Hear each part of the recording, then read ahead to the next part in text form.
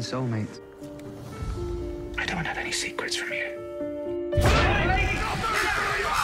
It's hard for me to believe you were in a serious relationship when you don't even know his name.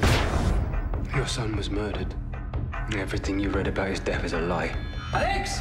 They built that attic out of my past. All the stupid things I've done.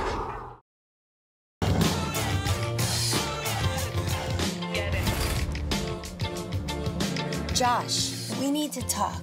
What do, what do you mean? This just isn't working for me. I want to see what's out there. I mean, I've only been with one other guy. What? You are here because you got innocent people off death row. You are my soulmate. Cool, bring it in, man. You'll stand by my side no matter what, right? Of course I will. I wasn't a lawyer. There's been a big mistake. I'm not supposed to be here.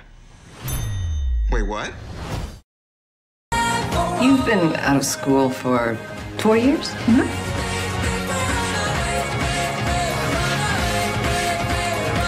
Do I really want to trade my dignity, wisdom, and self respect for another chance at my 20s? Hey, scaredy cat. Where are you going? Yes. Yes, you do a program manager at radio station? I could never date a coworker. What a bad idea. Yeah, what a bad idea. Maybe we should both quit. I'm joking. One of us quit. I'm kidding. You know what's good for a hangover? Weed. Fluids. Oh. You're really good at that. You're like a 40-year-old, 12-year-old because we're cohabitating does not mean that we're going to become disgusting normals. Thank you for making room for me. Good night. Good night.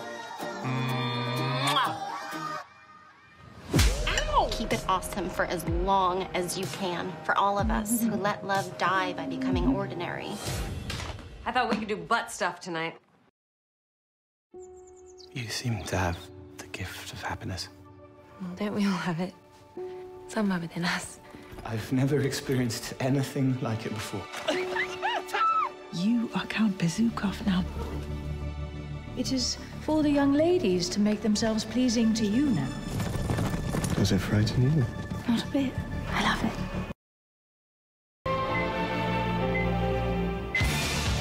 By quiet men with white collars and cut fingernails and smooth shaven cheeks.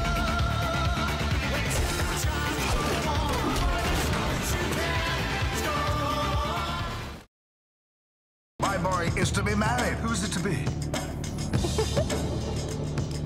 Elizabeth. Sick of the same old people.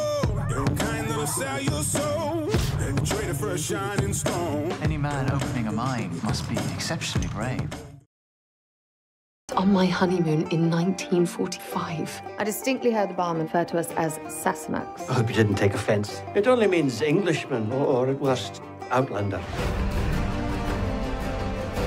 A word to the wise be careful after dark. The world just spun out of control.